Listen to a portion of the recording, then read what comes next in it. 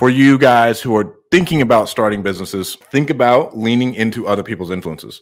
Right now, I'm in talks with another guy who has a decently large Facebook group. With that Facebook group, I have every single avatar really in existence that will need my product or service in that group. So, do I make said person a really big affiliate? Do I make him an equity partner? What do I do? But with that, if I can control the group and give that person or pay that person really well, number one, I don't have to spend any upfront money.